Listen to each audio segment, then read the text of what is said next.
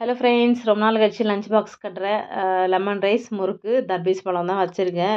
எழுந்துக்கும் போதே ஏழு மணி ஆயிடுச்சு. கரண்ட் வேறு இல்லை. அதனால் சிம்பிளாக முடிச்சாச்சு. உருளைக்கிழங்கு கூட பொரியல் பண்ணலை. ரெண்டு பேரும் சமத்தா கிளம்பி வந்துட்டாங்க.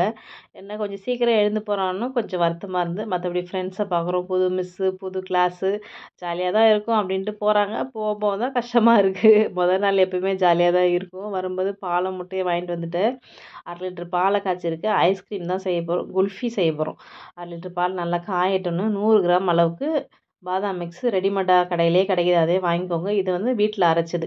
அரை லிட்டர் பாலுக்கு நூறு கிராம் சேர்த்தா கரெக்டாக இருக்கும். முந்திரி பாதாம் ஏலக்காய் சர்க்கரை இதெல்லாம் சேர்த்து குறகுறப்பாக அரைச்சி வச்சுருக்கேன். இப்போ அது எல்லாத்தையுமே நான் சேர்த்துட்டேன். நூறு கிராம் சேர்த்தா சூப்பராக இருக்குது அந்த சர்க்கரை அளவு எல்லாமே.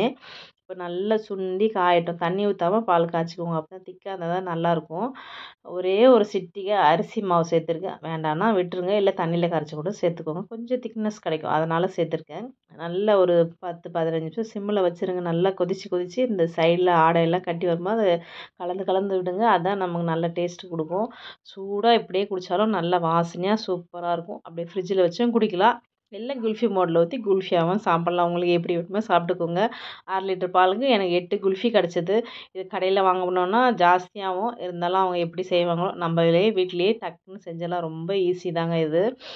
என் பசங்களுக்கு டேஸ்ட்டு சூப்பராக இருக்குது நல்லா இருக்குன்னு சாப்பிட்டு இருந்தாங்க வெயிலுக்கு இந்த மாதிரி ஸ்கூல்லேருந்து வரும்போது குழு குழுன்னு நீங்கள் செஞ்சு வைங்களா அப்பா அவ்வளோ டேஸ்ட்டாக சூப்பராக குழந்தைங்க விரும்பி சாப்பிடுவாங்க. அதுவும் இப்போ வெயிலுக்கு குழந்தைங்க நிறைய என்ன கேட்குறாங்கன்னா ஐஸ்கிரீம் தான் கேட்குறாங்க. முடிஞ்ச அளவுக்கு ஐஸ்கிரீம் இந்த மாதிரி குல்ஃபியெல்லாம் நம்ம வீட்டிலேயே செஞ்சு கொடுக்கலாம். பழம் கொஞ்சம் நிறைய தான் வாங்கிட்டோம் போல பெரிய சைஸாக தர்பீஸும் இந்த பப்பாளி பழமும் இருந்தது. நம்ம ஜூஸ் வடிகட்டுறதுல எல்லாருக்கிட்டையும் இருக்காது. அதனால் இந்த மாதிரி பெரிய அரிப்பு நம்மக்கிட்ட இருக்கும். இந்த ஜூஸை அடித்து இதில் ஊற்றிட்டா நமக்கு அழகாக ஒரே நிமிஷத்தில் டக்குன்னு வடிகட்டி வந்துருச்சு பாருங்கள் சின்ன நம்ம டீ வடிகட்டுறோம் அதெல்லாம் வடிகட்டினா அந்தளவுக்கு ஜூஸ் வடிய மாட்டேன்து இதில் பார்த்திங்கன்னா நல்லா அழகாக வடிஞ்சு வந்துருச்சு. ஜில்லுன்னு ஜூஸை போட்டு ஃப்ரிட்ஜில் வச்சு குடித்தா நல்லாயிருக்கும் ஆனால் முடிஞ்ச அளவு சில்லுன்னு குடிக்காதீங்க. அதோட ஜூஸை விட பழங்களாக சாப்பிட்றது தான் ரொம்ப நல்லது. இது கொஞ்சம் ரெண்டு நாள் ஆயிடுச்சு ஃப்ரிட்ஜில் இருந்தால சாப்பிடும்போது சல்லுன்னு இருக்கு பழம் அதனால் ஜூஸாக போட்டு குடித்தாச்சு மத்தியானம் முட்டை உடச்சி ஊற்றி அவரைக்காய் பொரியல் கொஞ்சம் தயிர் மோராக்கி வச்சுருக்கேன். சாதம். பசங்க வீட்டில் இல்லை வீடு வெறிச்சோன்னு இருக்குது இருந்தாலும் வீட்டில் நிறைய க்ளீனிங் வேலை நடந்தது. க்ளீன் பண்ணி ஒரு கவர் நிறைய குப்பை எடுத்து வச்சுருக்கேன். பாத்திரம்லாம் கழுவி வச்சுட்டேன். ஏன்னா நைட்டு பசங்க டிஃபன் பாக்ஸ் அதெல்லாம் வாஷ் பண்ணோம் இல்லையா? முடிஞ்சளவு சிங்கை காலி பண்ணி வைக்கிறது நல்லது. சீரியல் பார்த்துட்டே சாப்பிட ஆரம்பிச்சிச்சு. முடிஞ்சளவு சீரியலே பார்க்காதீங்க சீரியலில் என்ன சொல்கிறது இவன் பண்ணாட்டி அவன் கூட்டு போயிட்டான் அவன் பண்ணாட்டி இவன் கூட்டு போயிட்டான் இப்படி தாங்க வருது. சீரியல் பார்த்தாலே நிறைய குடும்பங்கள் நாசமாக போய்டும்னு நினைக்கிறேன். முடிஞ்சளவு சீரியல் பார்க்குறத அவாய்ட் பண்ணிவிடுங்க நிறைய பாட்டு கேளுங்க.